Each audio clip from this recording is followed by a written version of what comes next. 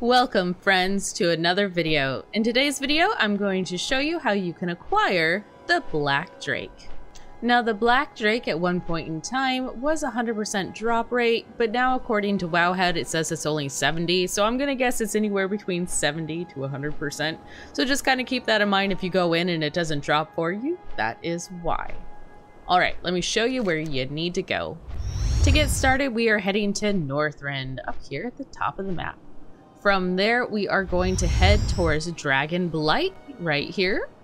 And then from there, we are going to try to find our way to Weremos Temple. I did not say that right. But to be fair, sometimes the stuff in World of Warcraft's a little hard to say, so we're just gonna leave it and say, sure, that's, yeah. Once you're there, you want to locate the big giant tower and you want to fly below it and into this cavern right here and you will find the raid entrance. Now, what you need to do is make sure that you set this dungeon to 10 man normal. That is the key.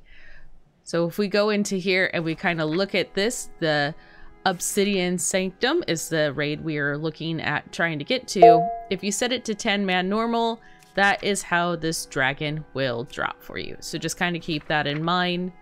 Now that you've entered the dungeon raid, raid, sorry, wrong thing. So this is what we need to do.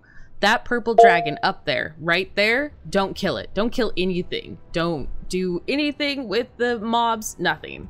What you want to do is just go ahead and head down here and you want to book this dragon snoot.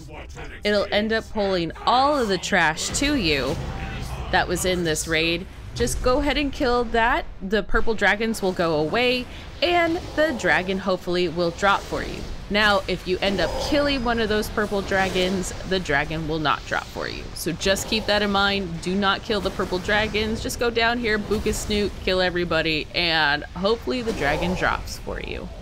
Hopefully you have a lot of success and you have now acquired a black drake.